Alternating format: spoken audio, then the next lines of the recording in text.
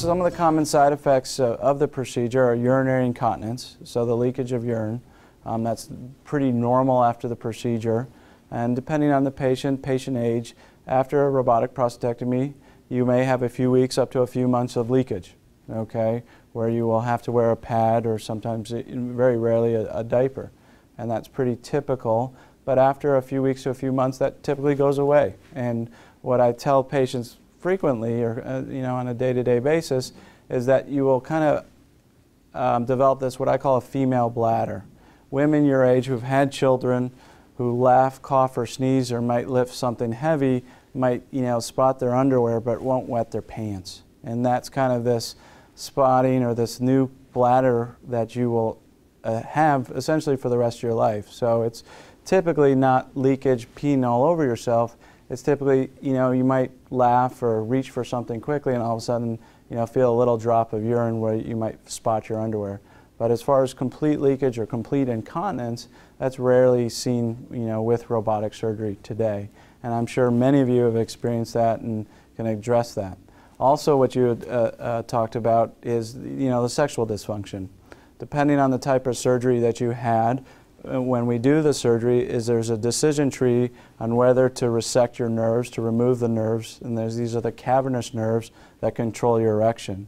The nerves basically run alongside the prostate, and when you remove the prostate, if you're a candidate for nerve sparing operation, what we'll typically do is peel away those nerves so that we can leave the nerves intact so that you can have restoration of erectile function okay? Because we are moving nerves and, and moving them away, it takes um, some time for, that, for the erections to come back. It doesn't come back right away. Um, typically, it'll take 6 to 18 months to see erectile function. Typically, what we'll do, and what we have is a very active program, we have a penile rehabilitation program where we have a nurse who many of you have seen before who will work with you to restore your function, okay? And it's a similar analogy to if you were to have knee surgery, if we were to operate on your knee, you would go for rehab. You would go do exercises, you would go lift weights to restore the function of your knee, the mobility, the flexibility.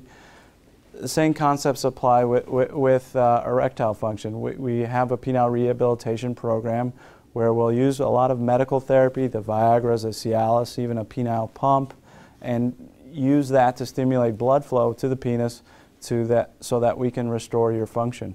And that's um, what the goal is, is when we do a nerve sparing, is to get you close to where you were before, with or without, you know, treatments, typically Viagra or Cialis.